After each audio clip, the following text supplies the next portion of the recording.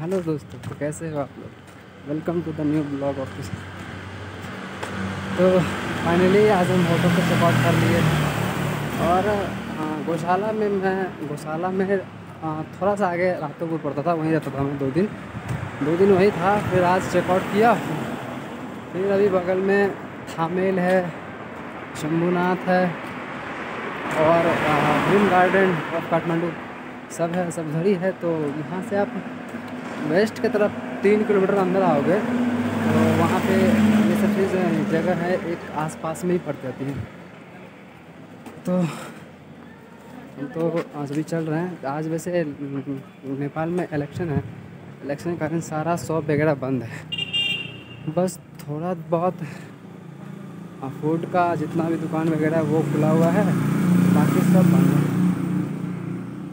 देख रहे हो पीछे का पूरा सन्नाटा रोड पे। जबकि ये सिटी का मेन रोड है ये।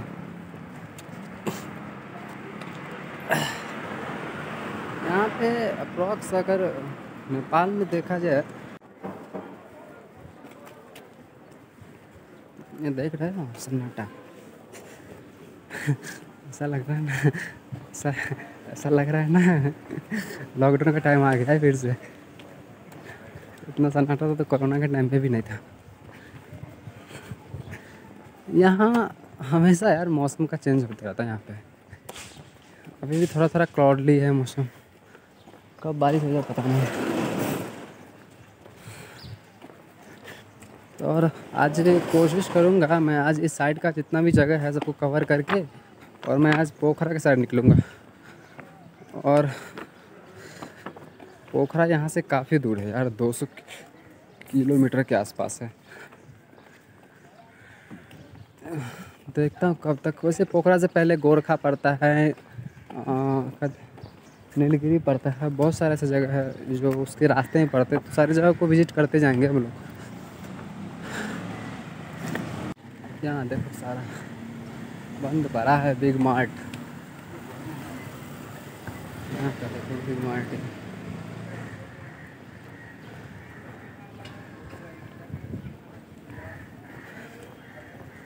नेपाल में आपको फास्ट फ़ूड का दुकान काफ़ी ज़्यादा मिल जाएगा। यहाँ पे मोमोज और शॉपिंग काफ़ी फ़ेमस है, काफ़ी ज़्यादा। ये जगह देखो, यहाँ पे रशियन सिखाया जा रहा है। तो यहाँ पे रशियन सिखाया जाता है। इसलिए आप यहाँ से रशियन सीख सकते बाकी रोड का तो देख ही रहे हो क्या हाल है यहाँ पे। सब सन्नाटा पड़ा हुआ वैसे इस जगह का नाम तो कमल पोखरी है। फिर यहाँ से सौ मीटर आगे जाने पे राइट से लेफ़्ट आता है ड्रीम गार्डन की तरफ़। यहाँ से सौ मीटर आगे जाओगे, वहाँ से राइट से एक रोड आती है जो ड्रीम गार्डन गार्डन तक जाती है। चलते हैं फिर। हाथीसर एक ऐसा जगह है, काठमांडू से मतलब तो हाथीसर जगह है अभी तो फ़िलहाल मैं हाथीसर जगह के पास हूँ। ये यहाँ पे सारे देश के एम्बेसी सेंटर मिल जाएँगे। अभी जस्ट पीछे चाइना का एम्बेसी सेंटर था और इस साइड राइट पे इंडिया का है और जर्मन भी यहीं पे है। आज वैसे घूमना जितना हो घूम सकते हो। से इलेक्शन को लेकर इतना इशू नहीं है। लेकिन हाँ आज आज ना आपको कोई लिफ्ट मिलेगा नहीं और नहीं, आज कोई वो चल रही है। और नहीं, आज कोई बस चल रही है, ना यहाँ की लोकल बस चल रही है, कुछ नहीं, सारा चीज़ ठप पड़ा हुआ मतलब पैदल इतना घूमना है, घूम सकते हो। बाकी व्यूज़ तो काफ़ी अच्छा है, एकदम शांति वाला व्यूज़ कुछ चलता नहीं है तो रोड पे ऐसा लग रहा है, जैसा लॉकडाउन फिर से लग गया। काफ़ी अच्छा है यहाँ पे। साथ गाड़ी चल रहा है, वो भी पुलिस वाला। चलते हैं अब ड्रीम गार्डन ऑफ़ काठमांडू। मिलेंगे वहीं पे दिखाऊँगा वहाँ का सारा। वहाँ पे काफ़ी अच्छा है वो, पूरा।